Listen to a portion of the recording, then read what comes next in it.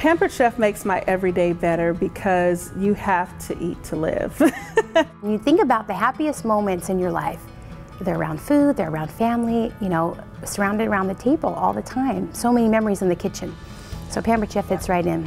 When I heard about the flexibility of Pampered Chef, I was like, this is perfect. I can work and make income and get a mommy break, which we all need, right?